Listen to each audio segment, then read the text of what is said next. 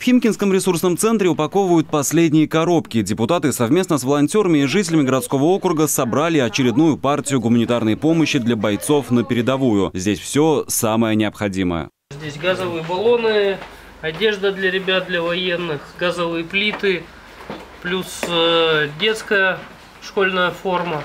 100 комплектов, 50 для мальчиков, 50 для девочек. А вот, э, да, различные предметы одежды тоже для жителей присоединившихся территорий.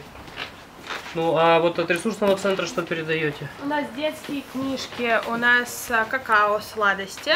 А Также у нас канцелярия школьная, а, подушки, матрасы, постельное белье. Из Химок машина с гуманитарным грузом стабильно отправляется раз в месяц. За время проведения специальной военной операции объем гуманитарной помощи уже перевалил за 300 тонн. Доброта, которая идет от сердца, искренняя доброта, она не может иссякнуть. Мы э, переживаем за тех людей, которые находятся сейчас там, тех людей, которые попали в беду и которым необходима наша помощь. Поэтому мы искренне помогаем этим людям. И, конечно же, это не может э, просто так взять и иссякнуть. Мы помогали и будем помогать. Всегда это наши сестры, это наши братья, это те люди, которые нам поверили, те люди, которые ждут нашей помощи. Совместно с волонтерами гуманитарный груз лично доставит и депутат Артур Каримов. На последнем совете народных избранников он объявил, что подписывает контракт с батальоном «Испаньола» и уходит в зону СВО добровольцем. Я знаю очень много моих друзей, товарищей, коллег сейчас из других муниципалитетов, депутатских корпусов тоже а, отважно и мужественно несут службу в зоне проведения специальной военной операции. Очень много моих коллег, депутатов из Государственной Думы, моих друзей тоже сейчас служат Отечеству.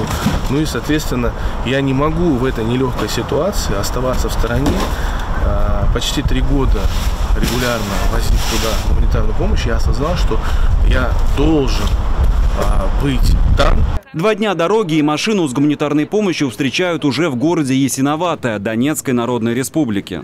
А, Хочется выразить огромное спасибо вам, всей вашей большой команде дружной, лично вам, Артур Маратович, за то, что не боитесь, за то, что едете, за то, что с такой доброй миссией едете.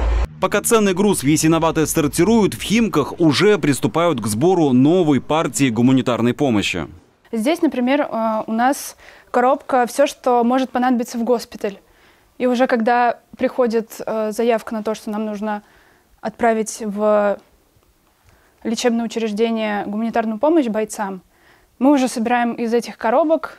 Тут есть перекись, влажные салфетки часто просят, сухие салфетки, бинты, ватные палочки – Работы у волонтеров в Химкинском ресурсном центре много. Каждый день неравнодушные жители приносят для бойцов и сограждан новых территорий все самое необходимое. Химчане уверены, такая помощь каждый день приближает победу.